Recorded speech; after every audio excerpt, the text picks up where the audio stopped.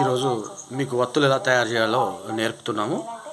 First ఇలా పెద్దపల్లికి వెళ్ళి పక్కపొంటి చేనులోకి వెళ్ళి పత్తి వెతుకొచ్చుకోవాలి.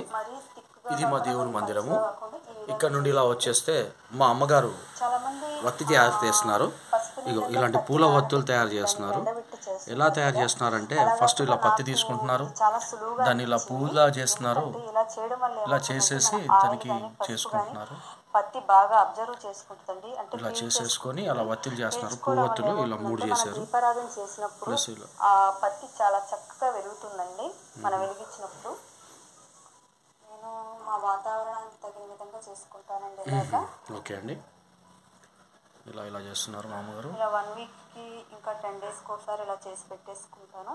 ఇప్పుడు దీపారాధన చేసేటప్పుడు ఆ, పెద్ద ఇదిగా చేసుకోవాలి అప్పటికప్పుడే అనే టెన్షన్ ఏమి ఉండదు చక్కగా తీసుకొని మనం దీపారాధన చేసుకోవచ్చు. ఇలాంటి పసుపొత్తుల్ని మనం దీపారాధన చేయడం వల్ల మన ఆరోగ్యానికి కూడా చాలా మంచిదని అంటారు. ఎందుకంటే దీపారాధన చేయడం వల్ల పసుపు ఇదంతా కూడా కలిసి ఉంది కదండి. దాని నుంచి వచ్చే ఆక్సిజన్ మనం పీల్చడం వల్ల మన హెల్త్ కూడా చాలా మంచిదని అని అంటారు.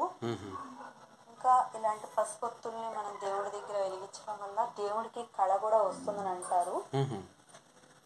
ఇదేదో నేను సొంతంగా చెప్తున్నది కాదండి. కొంతమంది నాతో అన్నారు. ఆ విషయం tylko 60 dni.